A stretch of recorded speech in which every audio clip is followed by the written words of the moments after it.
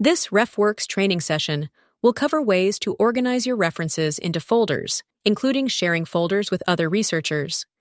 When references first come into RefWorks, they appear in the last imported folder, sorted by the date they were imported by default. You can also look at everything in the All References folder, which you can also sort and order in several different ways. All references which you did not assign to a folder yet are in My Folders group, in default folder called Not in Folder. If you want to organize your references into folders, to then share with others, click Add Folder and give the folder a name and click Save.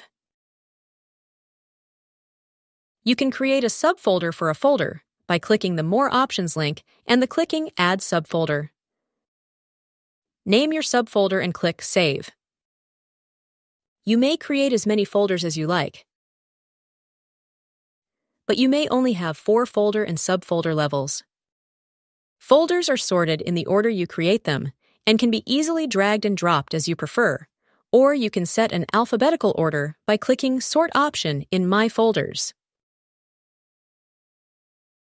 You can drag and drop references into any folder you choose or use. Assign feature on Actions menu to select several folders at once. In your reference list, you can now see to which folder or folders your references are assigned. When you click on the folder name, you will be taken to that folder. You can choose whether you want to see the folders by clicking Customize on upper right corner, and deselect Folders.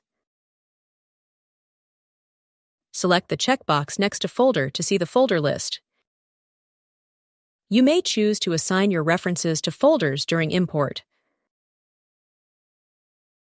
View our exporting references to RefWorks and creating references and adding documents within RefWorks videos for more information.